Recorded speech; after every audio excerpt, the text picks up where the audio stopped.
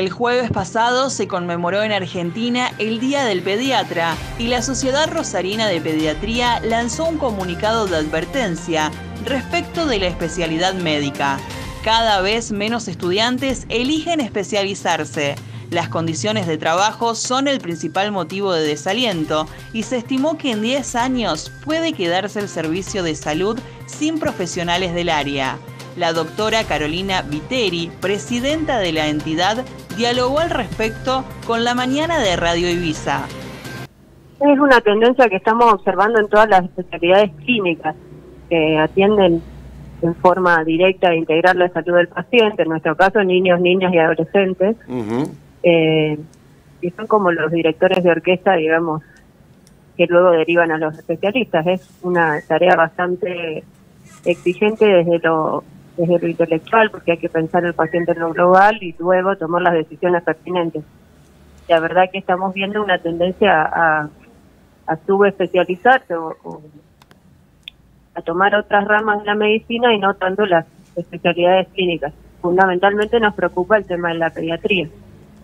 Claro, bueno, ustedes eh, son de esa especialidad, eh, la entidad de ustedes tiene que advertir sobre la pediatría, pero es algo general entonces, ¿nos está corroborando, doctora? Sí, es algo generalizado. Tiende más a subespecializarse y no tanto a tomar la carrera de, clínica, de clínica médica, tanto sea de adultos como de niños. En definitiva, lo que nos está diciendo son las condiciones de, trabajo, las distintas aristas de las condiciones de trabajo, lo que le preocupa a quienes tienen que hacer una especialización. Sí, yo creo que es una conjunción de, factores. Eh, las condiciones de trabajo claramente pesan, exigen en general en los últimos tiempos muchas horas de trabajo, pluriempleo, entonces es muy difícil eh, tener tiempo libre. Y la remuneración tampoco es tan acorde al gran trabajo que tenemos que realizar, entonces yo creo que eso pesa en las nuevas generaciones, eso lo han aprendido, eh, también a respetar sus tiempos personales. Y es entendible totalmente, pero bueno, creo que las condiciones laborales deberían mejorarse para volver a seducir un poco a los jóvenes eh, y atraerlos a estas especialidades que la verdad es que son riquísimas y, apasionantes, pero difíciles de llevar si no podés sobrevivir en lo económico. Doctora, el tema es que lo que uno trata es de, de ir a, a la información tratando de evitar, a veces los títulos están justificados, pero cuando yo leo que Asociación de Pediatría, entiendo que esto es a nivel nacional, más allá que usted representa a, esa jurisdicción. la Sociedad de Pediatría de Rosario es una filial de la Sociedad Argentina de Pediatría. Ahí está.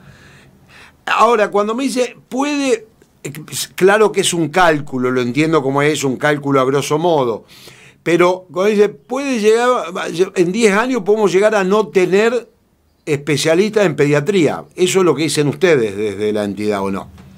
Sí, es una estimación. Eh, este año sucedió que a nivel país aproximadamente el 30% de los cupos que había para ingresar a residencias de pediatría quedaron vacantes.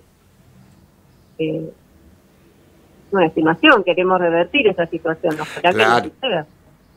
No, se entiende que usted es una advertencia y por eso decía grosso modo, una estimación por cómo viene dándose el tema de cómo va notándose la carencia en términos porcentuales. Ahora la pregunta es, eh, ustedes como sociedad de pediatría, eh, ¿tienen alguna respuesta, por ejemplo, del Estado, de las autoridades, o, no sé también, porque el problema también está en los privados, no solo en los nosocomios públicos, doctora? No, no, nosotros eh, nucleamos a...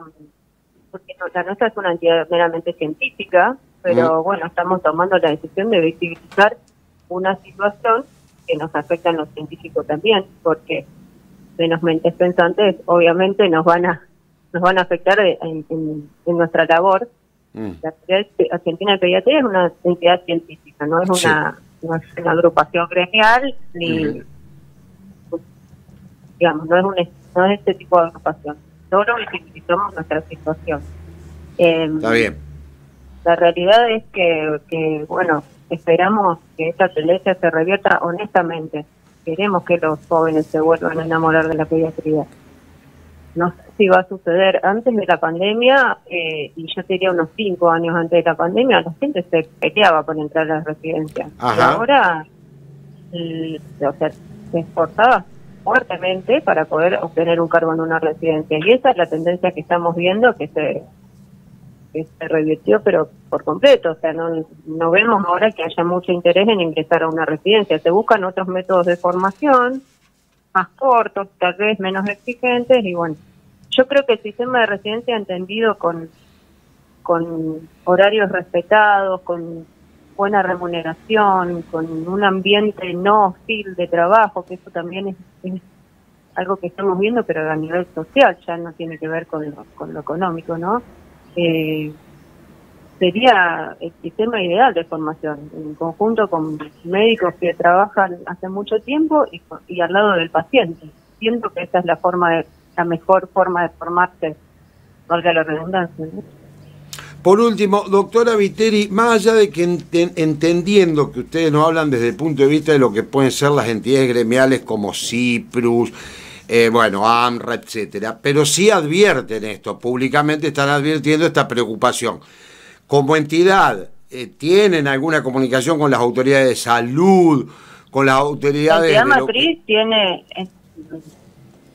la pediatría tiene comunicación en la toma de decisiones que atañen directamente a la salud pública, que invita a participar en la toma de decisiones.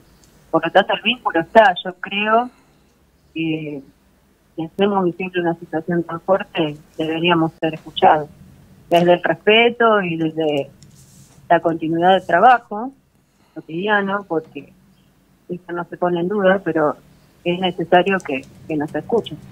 La, la, pregunta concreta es esta, la voy a, la voy a pasar limpio. ¿Usted qué cree en, virtud de lo que viene viendo? Estamos hablando de condiciones laborales y todo lo que ello implica, tanto en el sector público como privado. No hay motivación para quienes estudian especializarse en eso y hacer las guardias, etcétera. ¿Qué posibilidad usted ve en términos reales de que esto pueda revertirse? De que haya una inquietud de parte de lo que son las entidades públicas y privadas para que esto se revierta. ¿Qué, posibilidad tenemos? Una posibilidad certera no te puedo dar. No hay. El tema es que creo yo que en políticas de salud, si los profesionales advierten que cada vez somos menos, esto alguien tiene que tener audición a futuro y, darse cuenta de que la situación de acá a unos años se va a tornar muy compleja. Entonces, me parece que la toma de decisiones tiene que ser adecuada, a tiempo y el momento es ahora.